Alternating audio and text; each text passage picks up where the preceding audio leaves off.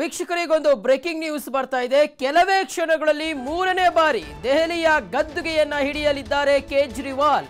ಇನ್ನೇನು ಕೆಲವೇ ಕ್ಷಣಗಳಲ್ಲಿ ಪದಗ್ರಹಣ ಕಾರ್ಯಕ್ರಮ ಆರಂಭವಾಗಲಿದೆ. ದೆಹಲಿಯ ರಾಮ್ಲೀಲಾ ಮೈದಾನದಲ್ಲಿ ಬೃಹತ್ ಸಮಾರಂಭ ನಡೀತಾ ಇದೆ ವೀಕ್ಷಕರೇ. ಪ್ರಮಾಣ ವಚನ ಸ್ವೀಕಾರ ಸಮಾರಂಭಕ್ಕೆ ಜನತೆ ಹರಿದು ಬರ್ತಾ ಇದೆ. ಕೇಜ್ರಿವಾಲ್ ಜೊತೆ ಸಚಿವರಾಗಿ ಐವರು ಪ್ರಮಾಣ ವಚನವನ್ನ ಸ್ವೀಕರಿಸಲಿದ್ದಾರೆ.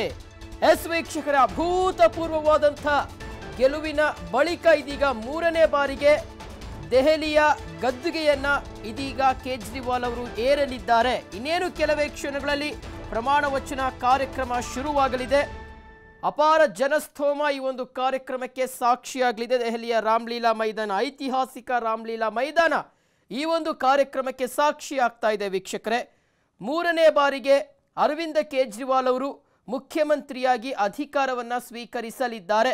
ಆ ಮುಖಾಂತರ ಎಎಪಿ ರಾಷ್ಟ್ರ ರಾಜಧಾನಿ ದೆಹಲಿಯಲ್ಲಿ ಅಧಿಕಾರವನ್ನು ಇನ್ನು ಐದು ವರ್ಷಗಳ ಕಾಲ ನಡೆಸಲಿರುವಂಥದ್ದು. ನಾವು ದೃಶ್ಯಗಳಲ್ಲಿ ಗಮನಿಸ್ತಾ ಇದ್ದೀವಿ.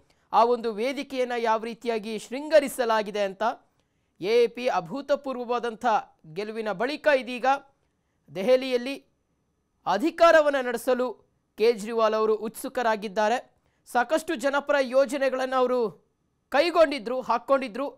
ಅದರ ಗೆಲುವಿನ ರಾಯಭಾರಿಯಾಗಿ ಈಗ ಮತ್ತೆ ಅವರಿಗೆ ಆ ಒಂದು ಅಧಿಕಾರ ಸಿಕ್ಕಿದೆ.